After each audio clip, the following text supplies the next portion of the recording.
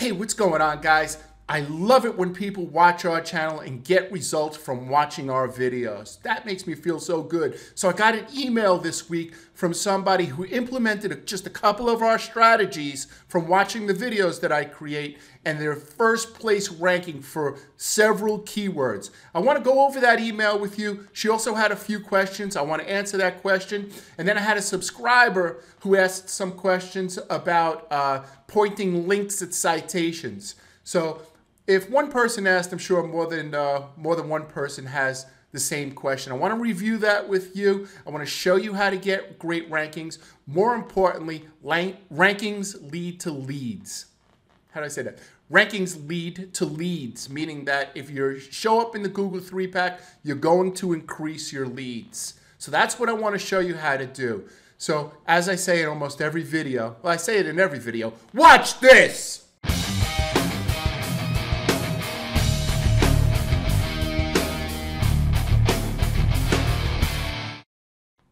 All right, guys, so this is the email. I'm not going to edit this video. I am a terrible reader aloud. Whenever uh, my teachers would call on me and say, Brett, we need you to read aloud. Oh my God, it was, a, it was terrible.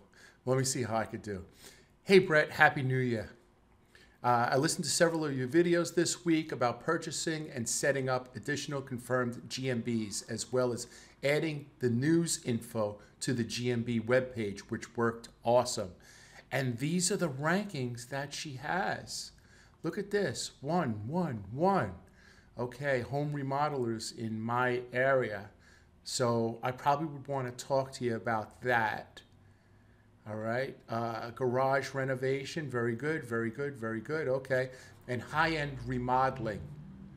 I could almost guarantee she doesn't have a page on her website about high-end remodeling. And garage construction near me. Let's, I assume she doesn't have a page. This is just a keyword on her page and she happens to be ranking for it.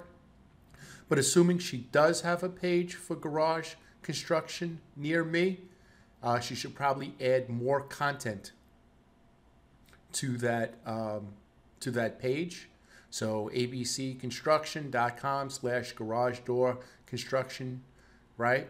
She should add more content to that page, answer more of the users' questions, and she should probably get uh, three or four re reviews over the next several weeks using the keyword garage uh, construction St. Petersburg. So, for example, she should get some reviews saying, um, I was looking for a, um, I was looking to get garage door construction in St. Petersburg because I'm working on a project and, uh, you know, so on and so forth. And they came across, you know, your firm and they helped me out. And, and you should also do uh, four or five posts per week for the next several weeks using um, pictures that Google recognizes as garage uh, construction. And you should create posts using those pictures, putting your NAP on it, name, address, and phone number, the keyword, put that on the picture, garage door construction, near me, you can put that on, and add your logo to those pictures. And uh, put that out on uh, on your Google My Business, and then you also want to put that out on your Facebook and your Twitter as well. And that is definitely going to increase your rankings from 12 on. But let's uh, let's talk about her question. So I manage two GMBs. One is website one in St. Petersburg, Florida, and the other one is uh, website two in St. Petersburg, St. Petersburg, Florida. These are the money GMB sites. Um, I'm looking to increase leads by purchasing additional verified GMBs in St. Pete. Okay, so uh, you could do a couple of things. You could go see my friend Daniel over at GMB Rockstars, and he could uh, set you up with a Google My Business, right? Or if you have an address that you could use in St. Petersburg, have the postcard mailed to that address. However, let me try to explain something. Uh, do not set up the Google My Business without creating footprints first. Well, what does that mean? Okay. So think of your Google My Business as a blackboard. Think of Google looking on the internet as a blackboard. The blackboard is completely empty. You set up a Google My Business. You set the Google My Business up. It looks on the blackboard to see if there's any um, anything written about website one in St. Petersburg. It doesn't see anything. There's a good chance that you will get your GMB suspended either right away as soon as you verify it or in a month or two. So what you want to do is you want to create um, some tracks on the internet to let Google know that this is a business that's already established. Well, how do you do that? Well, first of all, you build a website, you build a Facebook page with that name and address, you set up some so social websites, you set up a, a Yelp page, right? You set up a Yelp page. Uh, you submit probably about 15 stories to Google News. You could just go on Fiverr. Let me show you how to do that. Go on Fiverr if you don't want to create your own news site, but just go on Fiverr. There are people that have a news approved website and create 15 stories. This is all before, say, Google News.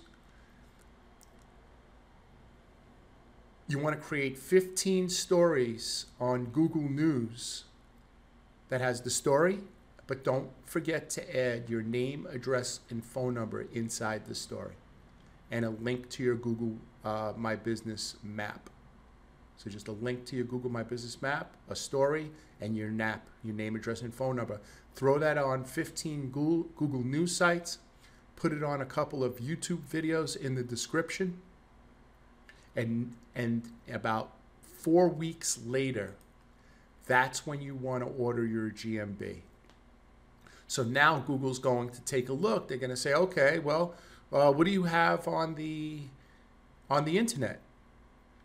do we have any signals that you're you're an actual business and they'll look and you'll have something? When you have nothing and you just create a google my business a lot of times it could get suspended. So do that first. All right? Do that first. Okay. Uh, do you set up do you recommend setting up a landing page or is that not needed? Just a new local number for each listing okay so i get this question a lot. What she's basically saying is should she set up a um, a website for the new business or should she create a landing page on her website for the new business? Here's what i want you to think. Think about starbucks. Let's go to starbucks for a second. Let's go to starbucks for a second okay so starbucks does not create a uh, a new website every time they open a new store. What they do is they just create pages on their website. So, for example, it will be starbucks.com slash 1010 uh, Main Street, St. Petersburg, uh, starbucks.com slash 1010 Main Street slash Tampa, right? Because what they're doing is, is Starbucks is building their brand, Home Depot is building their brand. So they just add pages to their website. Now, each location may have a different phone number. That's great. And if you need phone numbers, one of the places we use is called CallRail. And you can get a package here for $45 a month, and it'll give you more than enough time right? It'll give you text messages and a bunch of phone calls, and you could do that. You could also um, use an answering service, and I'm sorry I don't have that on hand right now, but they have they have. I'll put it in the description below. I'll find it, but there are answering services just made for Google My Businesses, so people answer the phone. They take the message and send it over to you. And you could do that too.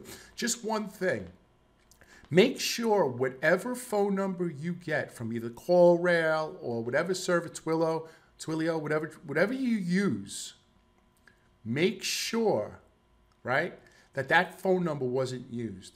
So if you go to Google and they give you, and this is my phone number, 718 22 227 2300. Don't just use the phone number. Take a look first and see if if somebody has been using this phone number for 20 years and it's associated with Mindsaw, it's going to be really hard to rank in the Google 3 pack for that phone number because it's associating that phone number with another business already. So if it's associating with Don's Pizza and you're a construction company and Don's Pizza had that phone number for 20 years and they're all over the web, it's going to be really hard to get Google to recognize that that's your phone number. So make sure you have a clean phone number. In fact, when you put in for these phone numbers over a CallRail, let them know that you need a clean phone number. Right? So I hope that helped. Uh, how much does a does a, a, local phone number cost? Well, I just had it right here. Usually around forty-five dollars a month. You can get away with that. Is it worth it to pay for a Google screened upgrade for realtors if there are if there are ten plus realtors in the area that are doing this? Google screened. I don't know what that is. I don't know what she's trying to say. Google Screen. Well, if 10 other realtors are doing it, then yes, I would do that. Yeah, yeah. Um, let me know how you could help me. Hey, you did uh, you did a great job. You did a great job just by just by helping me, uh, just by emailing me, and I'm glad that helped. I'm glad that helped. I hope it helps a couple other people. I also have a, a question from another user, and let's go through that right now. All right, so I created a video about citations and about powering up your citations. And then I said uh, point links at your citations, which will uh, strengthen your citations, your domain authority of your citations. And then if you have links on those citation pages, they will point to your website. Now, they could point to your homepage, they could point to your keyword pages you know, what, that's something, you know, whatever you want to do, there's nothing wrong in what, whatever you want to do. But let me show you how to do that. All right, guys, so let me see if I could explain this correctly. If I go over to Ahrefs, right, and I type in the domain name Twitter, you're going to notice that that domain name has a ranking of a 94, right? Just Twitter. However, if I add my extension to it, my page, which is Mindsaw, I think it's Mindsaw 360, Mindsaw 360, my page is only a 16.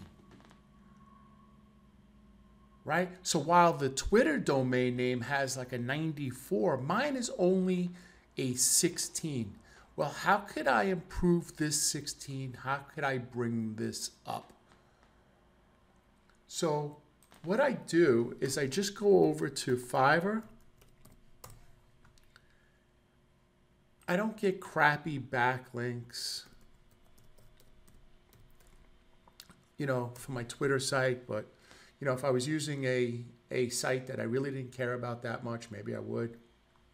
But I try to find something that has some decent ratings and uh, three tier GSAs or you know, I probably wouldn't use GSAs because they're like a, a, a, million links, but I'll get somebody that'll do like, you know, 50 or 100 links and have five star reviews, right?